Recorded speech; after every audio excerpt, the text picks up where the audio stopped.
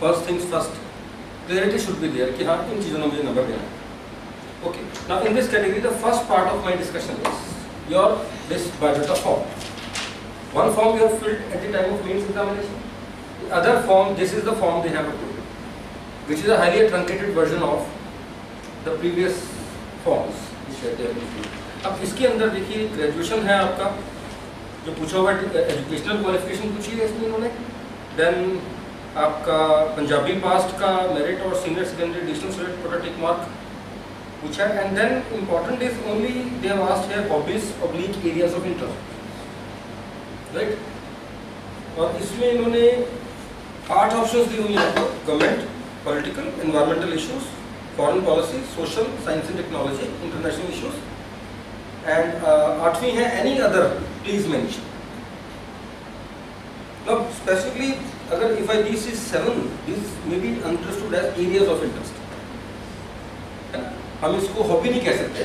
We can call it area of interest तो presumably सात में से मुझे कुछ चूज़ करना है और एनी अदर के अंदर I have to fill one और two hobbies right so we propose that ये जो सात ऊपर हैं, इनमें से आप don't fill more than two.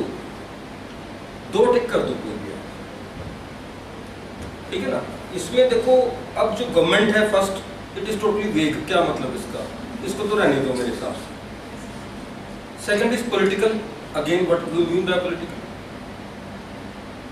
what do mean by political what is the are you talking of political system और political science as a whole और what you are talking of it is indeterminate it's not clear environmental issues quite clear. Foreign policy quite clear. Social okay. Social issues meaning gender issues child related or drug addiction problem of drug addiction in Punjab sex ratio blah blah. That makes sense. Ye puchte hain social issues. Science and technology clear okay. Science and technology development in biotechnology in space in information technology huh? e governance done. And international issues quite clear. World में जो चल रहा है इन countries क्या हो रहा है? Syria में क्या हो रहा है? है ना? या श्रीलंका में क्या हुआ? या साउथ ईस्ट एशियन कंट्रीज़ कुछ इंडोनेशिया में पीछे हुआ है? ऐसे ऐसे डिफरेंट डिफरेंट कंट्रीज़ में कुछ हुआ है तो वही पूछेंगे। या कोई इंटरनेशनल ऑर्गेनाइजेशन बनी है नहीं, या कुछ चेंजेस हुई हैं, कोई समिट हुआ है, कोई कॉन्फ्रेंस हुआ है, कोई रीजनल ग्रुपिंग्स का कुछ हुआ है, यही पूछेंगे अल्टीमेटली कोई नेचुरल डिजास्टर हुआ है कोई वर्ल्ड में? यही पूछेंगे। तो ये मतलब पहले दो को छोड़ के रादर गवर्नमेंट एंड पॉलिटिकल को छोड़ के आई प्रपोज कि बाकी पाँच में से you can choose any two you may choose any two clear तो उसमें सोशल इश्यूज़ है ठीक रहता है। है ना? वो आपने वैसे भी तैयार करना ही है ड्रग एडिक्शन है ना? सेक्स रेशियो फलाना ब्ला ब्ला जो तैयार करना ही है you can always speak on it whatever they may ask you ultimately यही पूछेंगे और क्या पूछेंगे कि what is women empowerment how the women can be empowered empowered and why social indicators in Punjab are low yeah what is the problem of sex ratio farmer suicide consumerism cultural degradation crime ये पूछेंगे और क्या पूछ लेना social issues तो social issues one such things कि you can always in short term because I am now talking in terms of short term in short term you can handle and ultimately you have to in any way prepare these things social issues so one is social issues. ठीक है जी? Second area is, if you think feel if anybody is comfortable, science and technology is very good area. क्योंकि उसमें ज़्यादा question वो पूछते हैं नहीं, जो पीछे हमने देखा कि साइंस एंड टेक में कौन पूछेगा बायोटेक्नोलॉजी के? है ना? मैक्सिमम ये पूछ लेंगे कि what are the developments in Indian space programme है ना? या छोटा मोटा कोई करंट में कुछ स्पेस साइंस टेक्नोलॉजी का हुआ वो पूछ लेंगे। तो साइंस एंड टेक्नोलॉजी अगर कोई कंफर्टेबल है तो ये भर सकता है। Otherwise international affairs is also good foreign policy is also good तो as per your interest you can choose in my opinion ठीक है ना? क्लियर होगी बात? एनी डाउट हाँ जी. नहीं सिमिलर नहीं कहेंगे। फॉरेन पॉलिसी के अंदर इंडिया एंड द वर्ल्ड आएगा। हाँ अगर हम दोनों बढ़ते हैं तो फिर डाइवर्सिफिकेशन अपनी शो डाइवर्सिफिकेशन तो क्या है? पता नहीं उनको देखना है देखना तो अब छोड़ो इन बातों को, है ना?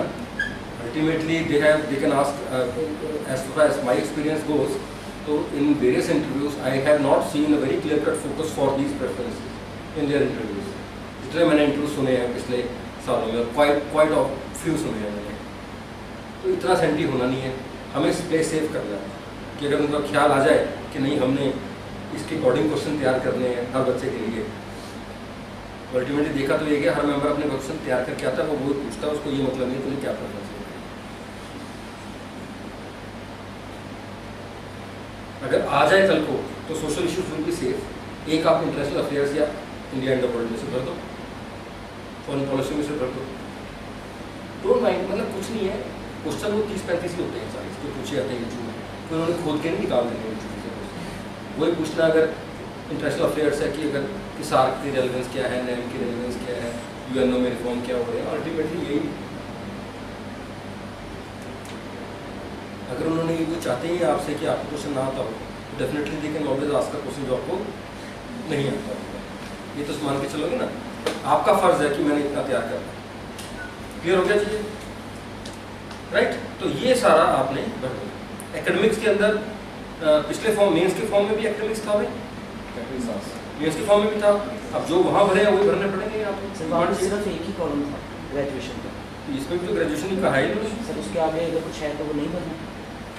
हम मेरे से डिस्कस करके that will you will be on safer side फालतू फालतू एजुकेशन क्वालिफिकेशन हम प्रपोज नहीं करते पीसीएस फालतू फालतू। कि कोई रिलेटेड ना हो इंजीनियरिंग करी हुई है उसके बाद बंदे ने हमें पब्लिकेट कर ली। ये चीज़ पीपीएससी के अंदर कन्विंस करनी बड़ी औखी हो जाती है।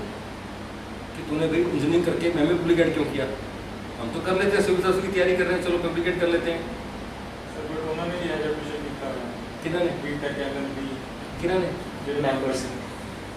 उन्होंने छो आप ये कह नहीं सकते ना डॉक्यूमेंट तो है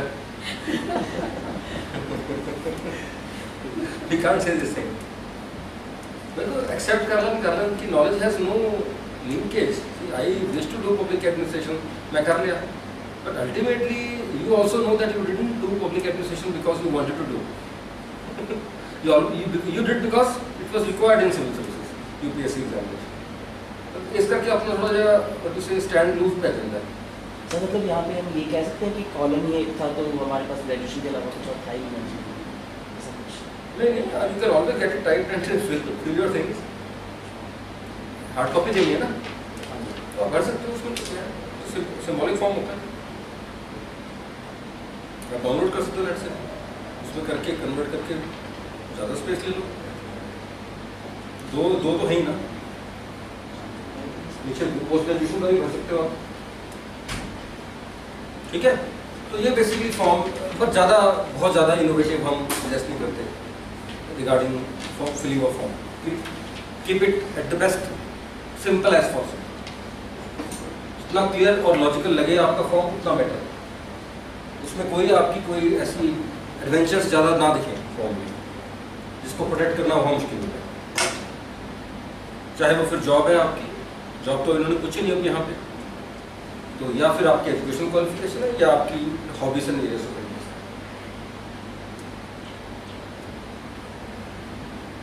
हो गई बात?